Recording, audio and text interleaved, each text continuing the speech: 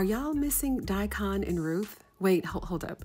D did I just say Daikon and Ruth? I, I meant to say Beggar Man and the Nameless Photographer Woman.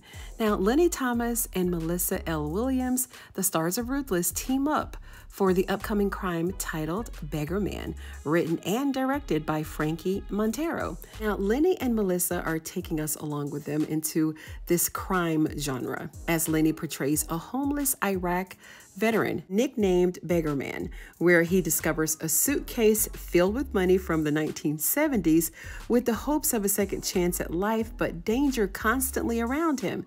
He seeks help from a local gangster.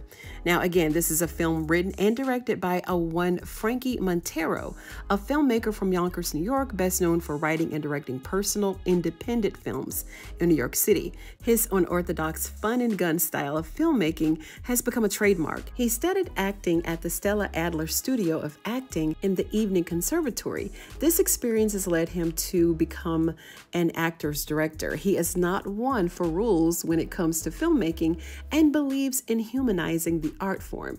Now, well, I, I can say that Mr. Montero also believes in casting some of the best upcoming talent in film and television. Both Lenny and Melissa are well studied, right? Well, I know that Lenny is. Not sure about Melissa, but as long as she's been the star of Ruthless and working for Tyler Perry Studios, yeah, she's definitely well studied enough, right? Now, we're used to seeing Melissa and Lenny whispering behind the highest back, right? In the punishment trailer, doing the nasty. But what are they doing in a crime movie? Well, the writer director says that this, and I quote, the recent state of my beloved city of New York pushed me to write a script about its current struggles and dangers. Speaking to multiple homeless veterans and hearing their stories inspired me to make the main character one, along with my wild imagination of the city's past. I came up with this story. My love for the 1970s and the 1990s cinema plays a huge part in the atmosphere my DP and I created. A neo noir New York thrill, a neo noir New York. Wow, try saying that three times.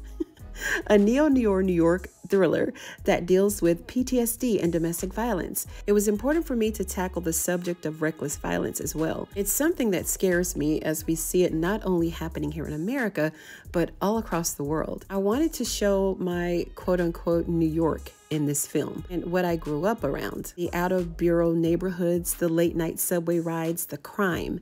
For me, directors like Martin Scorsese and Spike Lee inspired me to be the filmmaker that I am today, telling personal New York stories while shedding light on important subject matters. Hmm, that's all very, very interesting. So I really can't wait to see this. Now, we all know that Ruthless just wrapped its fourth season and we're patiently awaiting its return. Some of us think that that was the end of Ruthless and that they won't be returning. And then some of us think that they will be returning. And here's why. There's a recent Instagram reel from Elder Mother herself thanking fans for all of their support of the show and then advising to stay tuned. Dot, dot, dot. Stay, stay tuned for what? What's the dot dot dot? What's that, Elder Mother?